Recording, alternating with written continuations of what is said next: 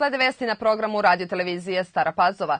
Predsednik Srbije Aleksandar Vučić odlučio je da danas ne razgovara sa predstavnicima Prištine u Briselu. Direktor Kancelarije za Kosovo Metohiju Marko Đurić kaže da je predsednik Vučić upoznao visoku predstavnicu Federiku Mogherini sa svim što su Albanci u prethodnih nekoliko dana radili. Direktor Kancelarije Marko Đurić u Briselu gde je održan sastanak Aleksandra Vučića i Federike Mogherini rekao da je pitanje da li će se i kada nastaviti razgovori sa Prištinom. Predsednik se na to odlučio zbog, kaže Đurić, svih prevara, pretnji i laži kosovskih Albanaca. Prema Đurićevim rečima, Beograd da sačuva mir, ali ne može da prihvati pokušaj da se preti zabrani poseta predsednika Srbije Kosovo i Metohiji. Predsednik samoproglašenog Kosova Hašim Tači kazao je da se zbog neodržavanja trilateralnog sastanka ne može govoriti o bojkotu dijaloga i da su razgovori sa Beogradom vođeni ne ali preko visoke predstavnice Federike Mogherini.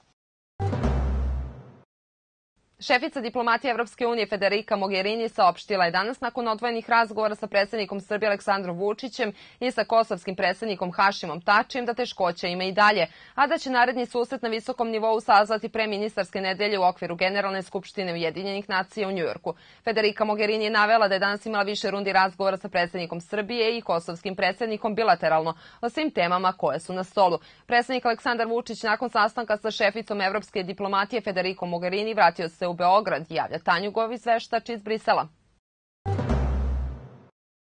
Podpredsednik vlade Republike Srbije i ministar unutrašnjih poslova Nebojša Stefanović najavio je danas da će od ponedeljka početi sa radom sistem za digitalno prosleđivanje zapisnika uviđaju saobraćajnih nezgoda i prateće dokumentacije Udruženju osiguravača Srbije, koji će omogućiti građanima da brže i efikasnije ostvare svoje prava. Ministar istakao da se ova procedura digitalne razmene dokumenta odnosi isključivo na saobraćene nezgode u kojima je nastala samo materijalna šteta, a za koje je vršen uviđaj od strane policije. Predsednik pokrajinske vlade Igor Mirović sastao se u Parizu sa predstavnicima departmana Valdo Azi, senatorima Sebastijanom Meranom i Martom Desidrak, sa kojima je u odvojenim susretima razgovarao o intenziviranju i proširivanju saradnje dve regije. Na sastanku sa predstavnicima departmana Valdo Az definisani su uslovi za potpisivanje sporazuma o saradnji Vojvodine i te francuske regije, koje će, kako je najavljeno, biti u novembru, a čime će se steći uslovi za uspostavljanje partnerstva u oblastima privrede, poljoprivrede, kulture i obrazovanja.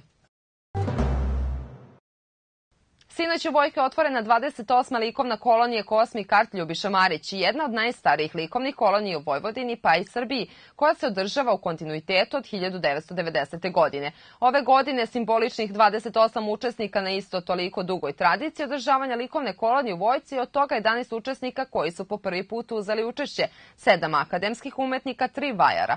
Program trodnevne kolonije, pored nastupa pevačkih grupa, predviđa i pratiće sadržaje kao izložbu novonastalih radova za sam kralj nedelju 9. septembar. Na svečanom otvaranju prisustvovao je predsednik opštine Stara Pazova Đorđe Radinović, koji je ujedno i otvorio četvorodnevni program kolonije Cosmic Art. Organizacije Centra za kulturu Stara Pazova i kluba ljubitelja Lego kockica Skockani u subotu i u nedelju. U Staroj Pazovi će biti održana izložba kreacije od Lego kockica. Izložba će biti postavljena u holu pozorišta od 10 do 20 časova, a ulaz za sve posetioce je besplatan.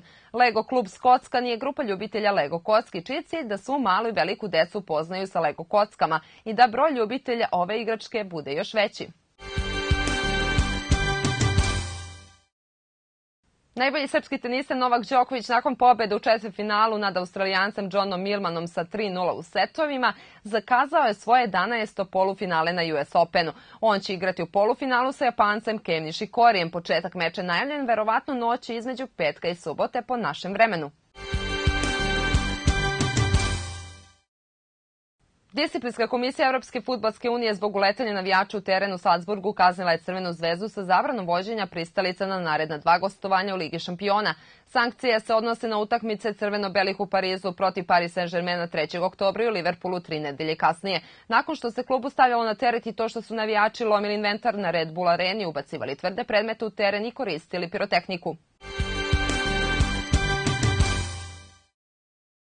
Futbaleri omladinca će se sutra u Novim Banovcima sastati sa radničkim iz Renjanina u četvrtom kolu Srpske lige područje Vojvodina. Radnički iz Nove Pazove će u Prigravici igrati protiv ekipe Braso 1946, a Dunav će u nedelju u Starim Banovcima dočekati Srbobran.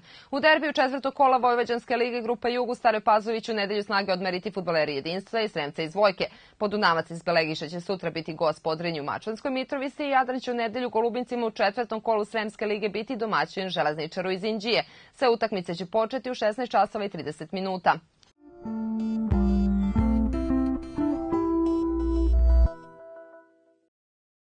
Sutra nas očekuje pretežno sunčano vreme. Sredinom dana i posle podne na zapadu i jugu uz lokalni razvoj oblačnosti pljuskovi sa grmljavinom. U Staroj Pazovi oblačno sa sunčanim periodima. Maksimalna dnevna 28 stepeni. Sa vremenskim podacima završavamo vesti. Hvala vam na pažnji i prijetno.